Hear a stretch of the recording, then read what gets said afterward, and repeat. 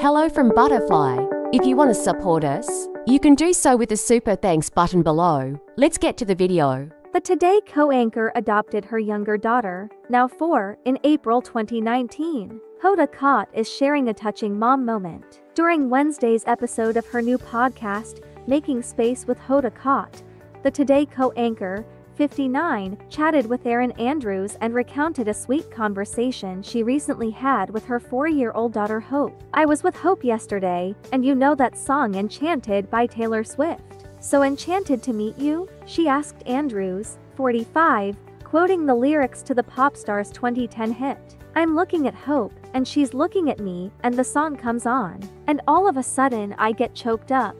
Kotb said to her daughter, Hope, you know what this reminded me of, prompting the little girl to remark, Your eyes are wet. I go. Hopey, the first time you were placed in my arms, I realized that was the word. The TV host continued, referencing her daughter's 2019 adoption. Hope then wanted her mom to explain the new vocabulary word. She asked, What does enchanted mean? I said, Enchanted means it's more than delighted, it's the biggest word, recalled Kotb who is also mom to a six year old daughter, Haley. Not only did the sweet mother daughter interaction stir up emotional memories of Hope's arrival into her family, but it made Kotb realize that it's important to make space for little moments of connection amid her busy day.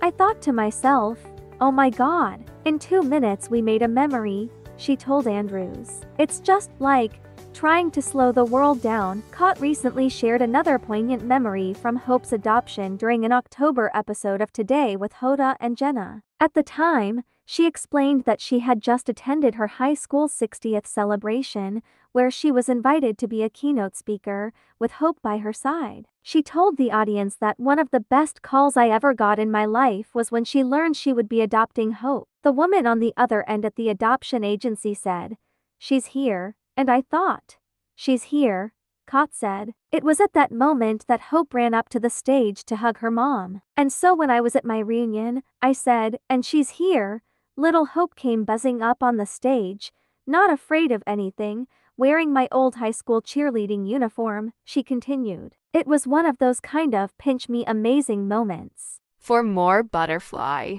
follow us